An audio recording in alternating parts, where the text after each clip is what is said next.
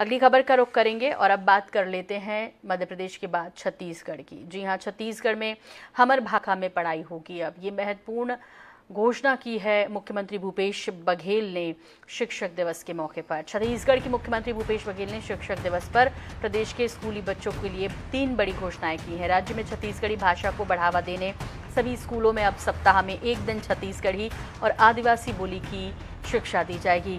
राज्य सरकार इसके लिए शैक्षणिक सामग्री भी तैयार करवा रही है। बस्तर एवं सरगुजा क्षेत्रों में स्थानीय आदिवासी बोलियों के अनुसार बाकी क्षेत्रों में छत्तीसगढ़ी भाषा में पाठ्यक्रम तैयार होंगे।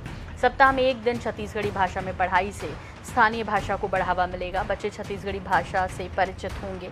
सीएम ने स्कूली शिक्षा में छत्तीसगढ़ी भाषा को सप्ताह में एक दिन अनिवार्य कर दिया है। वहीं भारत की संस्कृति और परंपरा को बढ़ावा देने स्वामी आत्मानंद अंग्रेज़ी माध्यम स्कूलों में संस्कृत विषय की पढ़ाई कराने के भी निर्देश दिए हैं। स्वामी आत्मानंद अंग्रेज़ी माध्यम स्कूलों में कंप्यूटर एजुकेशन को अनिवार्य करने की बात कही गई।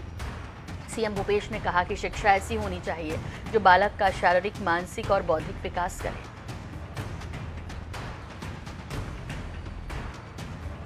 तो हमर भाका में पढ़ाई होगी छत्तीसगढ़ में।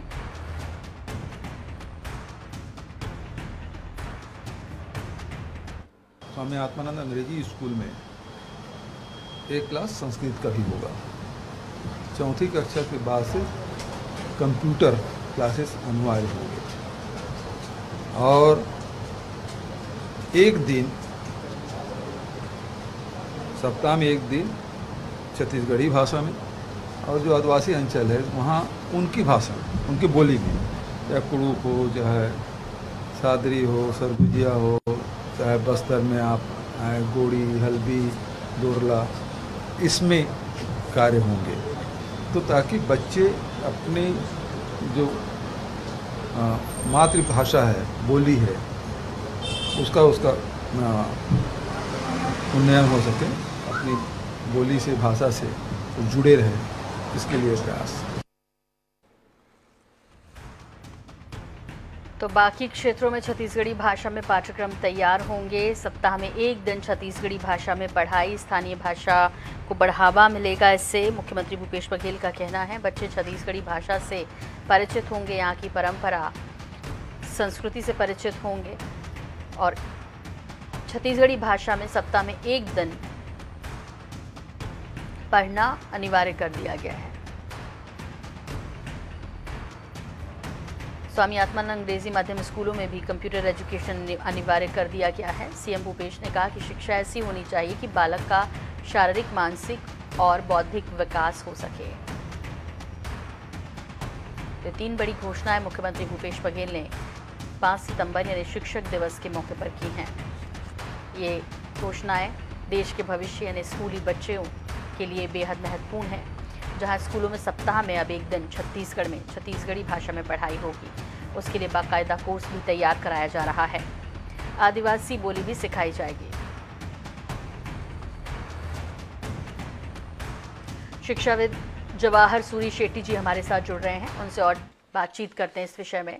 जवाहर सूरी शेट्टी जी, ये जो महत्वपूर्ण घोषणा शिक्षक दिवस के मौके पर की है मुख्यमंत्री भूपेश बघेल ने, किस तरह देख रहे हैं बच्चों की जिस शारीरिक विकास की बात कर रहे हैं, मानसिक विकास की बात कर रहे हैं, और ज़ाहिर तौर पर इससे सामाजिक विकास भी होगा, संस्कृति को बढ़ावा मिलेगा। ये बिल्कुल सही है कि छत्तीसगढ़ में जो पढ़ाई की बात कर रहे हैं, ये राष्ट्रीय शिक्षा नीति का एक भाग है कि आप शिक्षा को समावेशी बनाने के लिए छोटे कक्षाओं में जो प्रांतीय भाषा है और मातृभाषा इन दोनों में तालमेल बिठाकर पढ़ाना चाहिए तो बेहतर समझ में आता है। तो उन्होंने वही बात को दोहराया है जो शिक्षा नीति में है। दूसरी बात यह कि संस्कृत जो है, वो पहले भी वैकल्पिक विषय हुआ करता था। आप हिंदी या संस्कृत लीजिए, दोनों में से एक तो वही चीज़ फिर से होने जा रही है तो अच्छी ही बात है ये। जी। यहाँ पर जवाहर जी, आपसे ये भी जानना चाहेंगे कि क्या ये संभव हो पाएगा जब आज के समय में बच्चों को ज़्यादातर इंग्लिश में पढ़ाई के लिए आगे बढ़ा रहे हैं, पेरेंट्स ऐसे स्कूलों में डाल रहे हैं, वहाँ बच्चों की हिंदी इतनी खराब है। तो सिर्फ़ एक दिन की शिक्षा से क्या उनमें कुछ बेहतरी होगी, जो छत्तीसगढ़ी भाषा के यहाँ जो इस कल्चर में पले बढ़े हैं या जिनको आती है, उनके लिए तो शायद आसान होगा। लेकिन बाहर से आए बच्चे या जिनको छत्तीसगढ़ी भाषा नहीं आती है, उनके लिए क्या एक दिन काफ़ी होगा? नहीं एक दिन इसलिए कहा गया है कि बाहर के बच्चे भी जो आते हैं आ, उनको छत्तीसगढ़ी एक वैकल्पिक विषय के रूप में दिया जाए या उनको प्रांतीय भाषा का ज्ञान दिया जाए पूरी संपूर्ण पढ़ाई उसमें ना हो इसलिए एक दिन कहा गया है। और मेरे हिसाब से वो ठीक है एक दिन काफ़ी होता है। जी। जवाहर सूरी शेट्टी जी आपने कहा कि ये अच्छा प्रयास है अच्छी पहल है और वाकई में हमारी संस्कृति परंपरा को जानने समझने का मौका बच्चों को मिलेगा।